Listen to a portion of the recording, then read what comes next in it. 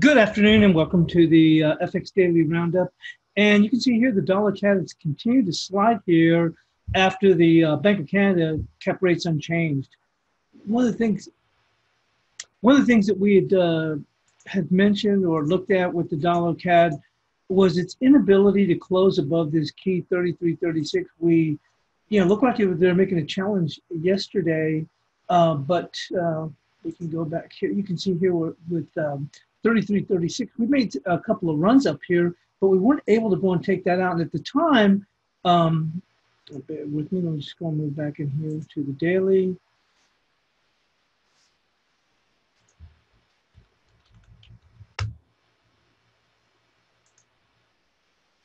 See right here, the 33, 36, and we weren't able to get a daily close above that. Now we did make a challenge, and that was, that was on FACE a couple of days ago, and you can see here the 3382 and we talked about them maybe taking some off of the table. We weren't able to close above 32, 30, uh, 33, 36. We talked about that this morning um, on the European crossover webinar, saying that it's almost looked the wick was a little bit long, but almost looked like a gravestone doji. And obviously, we did slide have obviously had a lot to do with the Bank of Canada uh, choosing to hold uh, rates unchanged, and we've made this push lower.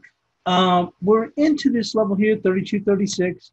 But if you look on the two-hour chart, there is a, um, a uh, what I called a volume support level right there at 32, 38, 37. We're kind of, we're trying to make a stand here just to hold that. That I think will just be a pause area. Uh, we'll see what the market can do there. Um, potentially, obviously, can go lower. Uh, in the meantime, uh, we have been looking at the cash dollar index here, and we've seen a pretty good sell-off from yesterday. Uh, when I was on the um, FACE webinar, I mentioned that uh, you know our bias chart resistance was 99.44, but happened to be that the 99.40 was this 127% extension, and we talked about that on FACE. And uh, we since broke off, we've broken off quite a bit. We've already exceeded the 38%, but there's some good a good support level here. You can see that with these touches coming across at 98.44. That's allowing this euro to stay on the bid, and I think that um, uh, any weak shorts, people that came in trying to sell this thing a little bit too soon are probably going to, you know, see this market continue to stay on the bid as we press the stops. And getting here with the euro, let's take a look here. Big key area here, 1053. Although I think uh, concerned with the dollar index is, I think we might be able to make a move like to the mid 1040s and then probably see the market, you know, start to run out of gas. There's 42, maybe right like there. You see 45. I this 1053 has been like the Rock of Gibraltar, and when we slid past that area, it was good night Irene, and obviously then Lagarde added her two cents in about you know uh, stimulus, and then added the caveat uh, caveat that well we'll see we'll have to see if it you know if that's in accordance with proper policy, which always was a bunch of BS because basically she just gave you the permission just to just dump this thing. Um, but coming back up here I think this be a pretty tough row to hoe. Um, remember that was that QA that was at that 1060. But that being said, I think it'd be even pretty tough. To, if we even got up to 57, it'd be pretty incredible. But this 53 is pretty key level. You can see that. So I don't think if someone's long that they're going to say, you know, I'm just going to wait till we take out 1053. Can we get above it? Possibly. And I'm talking about we would do that today. Um, but my thoughts would be is if we do rally up, we'll probably run out of gas around the mid 1040 and that's a good area for anybody that picked up this thing, uh, you know, in this lower region to spin out. So who else is going to buy this thing other than people that are short that may be covered? So I think that at that point you see the market rotate lower, probably come back to challenge about oh I don't know about 989, 990, um, or any moves towards there. Uh, and then you know people would gladly reload. But if we do see this mid 1040s, I think that's probably going to be a good area uh, for some people that want to be aggressively short to take it, step in, and let this thing roll back. Because if you're long, one of the things to point out to you yesterday, or, or actually in the was mentioned in the chat room, to take a look here at the cash dollar index. You think about this. Look, we've already shed practically 100 ticks since yesterday. So you have to wonder about how far can we push up. So, you know, same thing. If you're long the euro, you're probably saying, you know, I'm going to spin out a little bit here, I'll spin out a little bit more. And probably by the time you get to the 1040s, you're like, hey, I'm not trying to sell the top tick. I want to make sure I'm able to get out. So you probably see some good selling around that mid 1040 area. And then we had, you know, then the market rotates lower and longs will look to go on and reload at better prices. So that's why I think we do get that move up here today. and it might be later in the session because, like I said, anybody that's short that came in a little bit too early uh, may have come in before 110, maybe come in the 10 teens. And weak shorts, not looking to hold for too long, may end up seeing themselves get stopped out with a nice undertone bid, but it's keeping the euro in check for right now, so I got to give it that. Uh, another market that we talked about was the peso. Um, and we've mentioned this a couple of times, mentioned it when I was on Facebook yesterday here um, about the, the pullback. And we're looking for a pullback to 985 with solid support at 10, 1967. And we've gone past the 85, and you can see us, you know, working here towards this 1967. So um, once again, like I said, I think that that is probably where the peso will want to go to, and then I think we should see a nice little bounce from that area.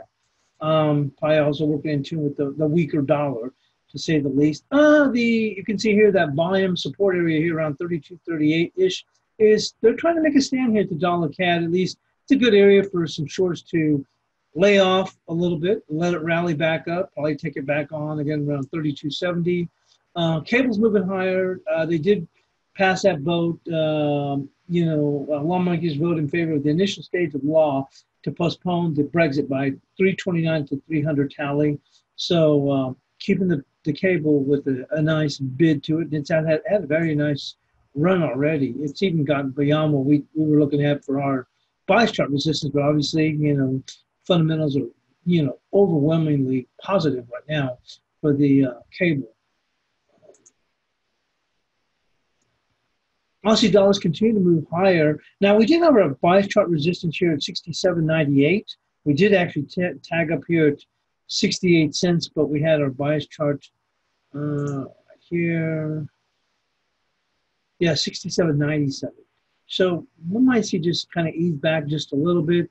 Euro dollar, we had a 1017, which is a 38%, but we did make that move. And that, that's a big area. That 1026 area here, that was a big area on the way down. And when this thing started to slide, then it broke through that area. Um, but so we got past that, and this 1036 ish area, the market hasn't quite made it. But on those stops, if we can and get the dollar to, to take out and jump down here to this 98 uh, 44 ish, um, maybe even dip a little bit lower than that, may allow the euro to press up in here, and then maybe we take a little bit of a respite in the euro as uh, longs look to reload at better prices. Um, we're going to move into, let's take a look at the, uh, the Bund.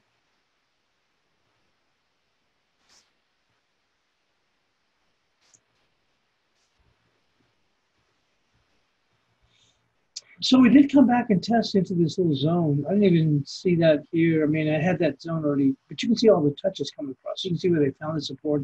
They bounced off it. Boy, they had a pretty nice little bounce. Look at this. Look at that. Oh, gone.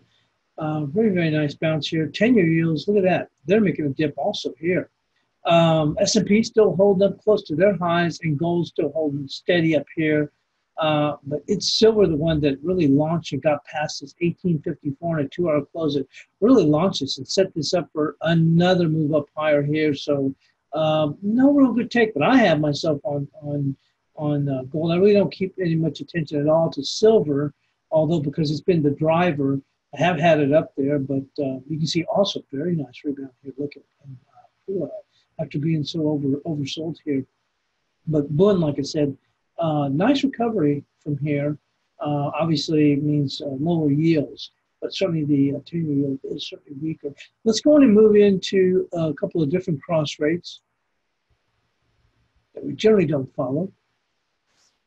Blakey made the case yesterday about the euro peso, and you can see here that uh, we have continued to move lower. And henceforth, remember the peso, the dollar peso, same thing, uh, you know, rather weak here uh, had this from the prior week here. You can see this now. That's a real shooting star. We saw it come back here, fall back, not that much, but we came back to challenge it and looked like they were trying to make another push. We failed. And then you can go here with the touches. We roll over and then one more challenge up in here, another challenge. And then from there, it's been you know down, down, down. Uh, but uh, probably pretty good area here, a little bit of volume here, but I like that dollar peso around 1967. Um, Swissy, a very good pullback in the Swissy, but uh, by the way, 97, 96 will be the 61%. I was looking at that earlier. I don't haven't traded the Swissy in a long time, but uh, it's always a good market to take a look at that. You can see that 97, 96, and you're coming into a nice volume area here, right there. So we do get that dip. Once again, corresponds to that dollar index. Maybe checking down to 98. Uh, well, 98.44 is our bias chart. Well, not bias chart, but our, our zone here. I don't think I even had that for the bias chart. I'll, I can take a look real quickly here.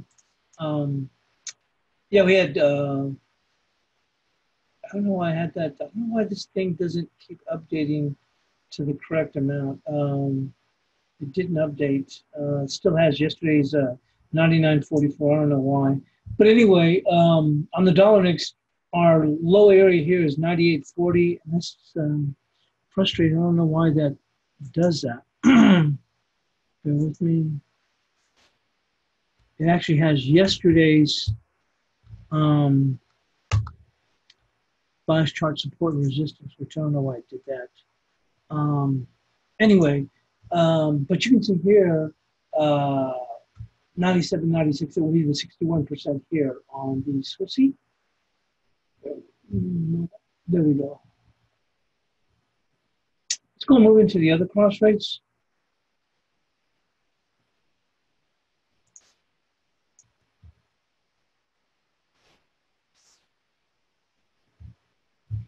And you can see here, we've had a very nice run here in the euro. Yeah, look at this. We've just uh, come up here and look at that. Just about tagged the 61% of this move here in the euro yen. Uh, and actually pretty good volume area here too. Look at all these touches here. So good resistance here in the euro yen, 7130, uh, 1730, I mean to say. Uh, and we're only 10 ticks away. Good solid level here, right here too.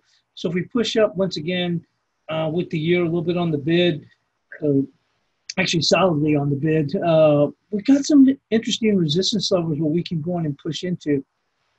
Euro also continues to struggle here, and even the Euro Kiwi. If you look at Euro Kiwi, we're into some nice resistance, and that's right there we have in the bias chart. You can see our our level right there at 73.65. They've already made a press into that, uh, but that was an area that we're looking at. So we'll see what it can do. Uh, Guppy making a very nice push in here. Actually got above uh, the bias chart resistance here. We've made a move up here, but this is a pretty good solid area here. 30, look at that, 3004. 3004, so uh, if we do make another run, look at that 3004 on the Guppy. And obviously Aussie yen uh, now, finally after being dead in the water for so long, finally making the move higher here on this two-hour chart. Still has a little bit of a ways to go, but key resistance is going to be there at 72.56. Got another 30 pips that we could actually go, but that would be very good resistance there. 72.56 right there. 72.56. We'll roll back into the main screen again.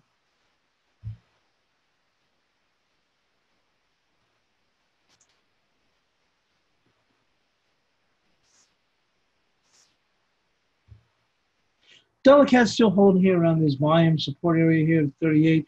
Um, your dollar, like I said, keeping its keeping its bid. Once again, like I said, any weak shorts uh, they may be buying up as we go into the close. There's really not a reason for someone to step in. If you're looking to short, why would you step in and short right now? Think of it this way. Blake likes to point out, put yourself in the other person's shoes. Why would you want to short right now if you see this market on the bid? So you think it is the closer we get towards the end of the session, the bids, the markets, the pair stays on the bid. So we probably hit some stops. Now, how far we push, we shall see. But right here's a good area here. This 40 to right there, 44. Any push in there, I think, is a pretty decent area to step in if you want to uh, go with aggressive shorts. I saw one of the guys in the chat room, I think it was DK Trader, actually exited his longs and was looking to go in short right there, 1040, and uh, and then let them roll back down the hill, pick them up, and not only cover your shorts, come back in and uh, add on a value long as we make that dip. Because we've already had, like I said, here in the cash dollar index, we're down almost 100 ticks uh, from yesterday's high. So come off quite a bit. And if you're looking at it from a value level, then you might think, wait a minute, probably gone quite a ways. I want to just lay some off and I'll come back when I can get it at a better, cheaper level. Um, but that's all we have for today. Thanks for joining us here on the FX Daily uh, Roundup. Have a great rest of the trading day.